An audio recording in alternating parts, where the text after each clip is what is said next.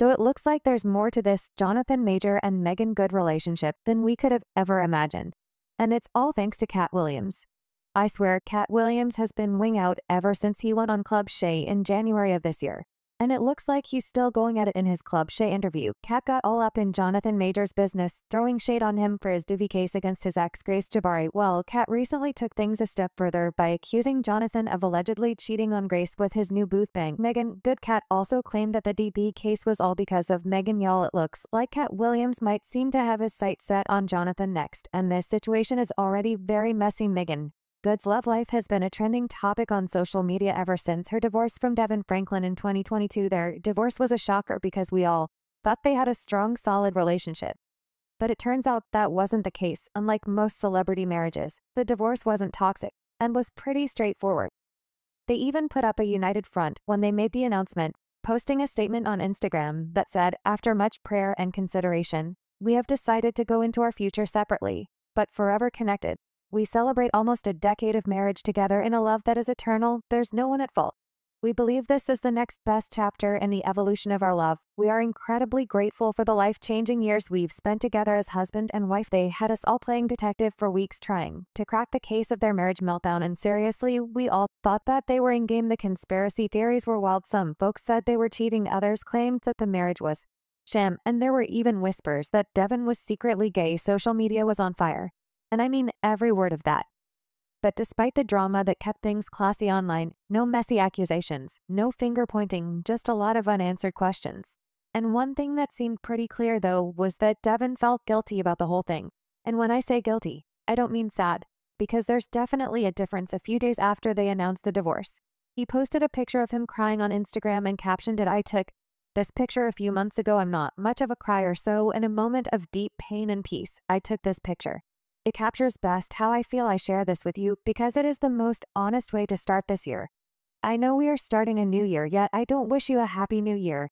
I wish you a happy true year. Meagan, on the other hand, made posts like 2021 You bring me the highest life changing, affirming highs and the lowest G ring, soul breaking lows. Although I'm grieving, I'm also in glorious awe and thankfulness to you, God. They say all endings are also beginnings, and healing isn't pretty, but the other side is freaking beautiful, so yeah. It was like they were on two different pages in the same book of peace which left us all scratching our heads and wondering how things went so wrong to divorce. It didn't take long for fans to put two and two together though. There were speculations running wild about how the marriage crashed and DeVon basically forced Meagan to change so much that she lost herself it sounds wild. But it actually makes total sense now. For those who don't know Meagan and DeVon met on the set of the movie Jumping the Broom and they hit it off instantly. But there was one little problem DeVon was a pastor while Meagan was spiritual, and many people felt like she wasn't on the same spiritual wavelength as DeVon. But hey, love conquers all right. Well, I guess not exactly. But as they say, love alone isn't always enough. It takes a ton of compromise in this relationship. Most of that compromise fell on Meagan's shoulders, as she had to make significant changes to fit DeVon's vision of a preacher's wife. For example, DeVon was celibate before they got together, so Meagan had to adopt to celibacy too, even though it wasn't really her thing before Donan. And that's just the Start Meagan's career took a bit of a turn too, as the preacher speaker's wife. She had to be more cautious and choosy about the role she took on. Even while they were married, fans speculated that her career took a hit because of her relationship and marriage to DeVon. So there was this whole lot of adjusting and reshaping going on in their relationship, especially on Meagan's part. Despite her efforts to mold herself into what DeVon wanted, it was never quite enough to make matters worse. She faced severe bullying and harassment from members of the church, and when I say bullying, I don't mean that she was dealing with with a few mean comments here. And there Meagan was subjected to full-blown harassment and mistreatment because some church members didn't see her as a worthy of being DeVon's wife. The situation became so unbearable that she eventually stopped attending church altogether to escape this relentless negativity. When DeVon and I got married, I no longer was receiving criticism from just people in the world. I was receiving criticism from people who were Christians. It was almost kind of like brutal I was getting um, on my character, um, on my husband, on different things. So I wasn't ready for that. And I think the first maybe two and a half years I was married. Meagan had a deep spiritual and genuine love for God and the church. But unfortunately, she didn't receive the same love and return from much church members despite facing public and private criticism. She couldn't retaliate or defend herself publicly. Because of her role as a preacher speaker's wife, it was a tough spot for her navigating the harsh judgment and negativity from both sides. And y'all, I don't envy her at all because she had a really tough time for not one, but not two nine whole years.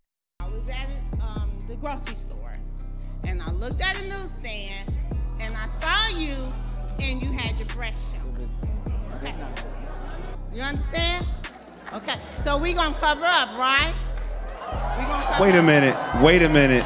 Wait a minute. No, no, no, no, no, no, no, no, no, no. Uh-uh. Uh-uh. No. That ain't that ain't, no. That is not what we're here for. She's not gonna cover up. She's gonna wear what she wanna wear. In the name of Jesus. Amen. Amen. Amen. She gonna wear what she wants to Talk about the audacity, y'all. I mean, if that woman had a genuine concern, she could have approached Meagan privately, maybe even at like a grocery store, or write her a letter instead of publicly humiliating her like that. Even then, it would have been rude, but not as damaging as what actually went down. The statement clearly hit Meagan hard, reinforcing why she never felt truly welcomed in the church. And if someone is willing to shame her like that in public, who knows what happens behind closed doors? It's insane that after all the changes Meagan went through at DeVon's urging, she still faced bullying from the very people who should have embraced her. But to DeVon's credit, he did try to defend her at times, but it wasn't enough. There were moments when he wasn't around or couldn't speak up and leaving Meagan to endure these insults by herself. So, not only was she dealing with all of that, but all the challenges of adapting to this new identity shaped by her husband. And then there's the issue of them not having children. Meagan had always been clear that she didn't want kids. But sources from DeVon's church kept poking and prodding and questioning why she hadn't started a family. And y'all better believe that they were not asking from a place of genuine concern or because they cared about her. Well, after the divorce, I'm not going to lie, Meagan completely switched it up and became the total baddie again, and fans started to talk about how she was probably caged in the marriage because she did a complete 180 0. And y'all know how Meagan always said that she didn't want kids while she was married to DeVon. Well, it looks like DeVon was the one who didn't want kids and she went, along with it speaking, to Romper in early 2020 when she said, When you say you're not sure you want to be a mom, people look at you like, you're a bad person, as if something's wrong with you. But I was never really that girl who said I can't wait to get married, or I can't wait to be a mother. I just was very much a tomboy, and I started my career so young that I had always been very business oriented. But the moment the divorce was finalized, Meagan suddenly started talking about how she couldn't wait to have kids. want next? What is next for Meagan Good in life? I want to travel. I want to direct more. I want to do more action. I want to create vehicles for little black girls to show themselves in completely different lights and help support that and uplift that.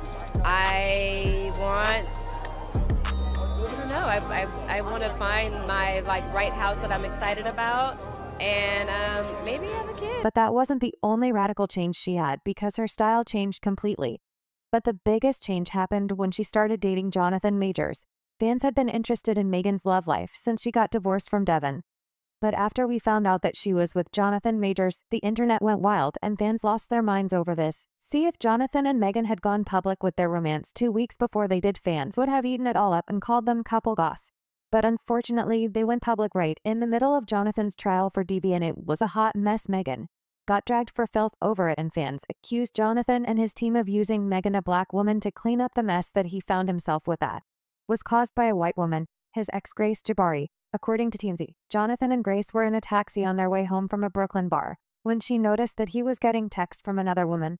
And this led to an argument in the back of a taxi. TMZ reported this got Major mad, that he allegedly grabbed her hand and allegedly slapped her. We're also told the alleged Vic claims he put his hands around her neck during this. Our sources tell us the alleged had visible and including a laceration behind her ear redness and marks on her face. She was taken to an area hospital and is in stable condition, and according to the police sources, Majors called 911 himself to report his concern about his girlfriend with whom he lives when police arrived. Sources say the girlfriend told a different story that she and Majors were in a cab on the way home from Brooklyn when he physically attacked patrol officers, noticed marks on the woman's body.